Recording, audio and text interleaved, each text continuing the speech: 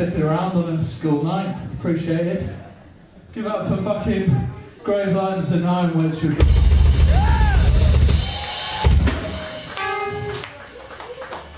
And obviously Rock and Fargo for just being the fucking best.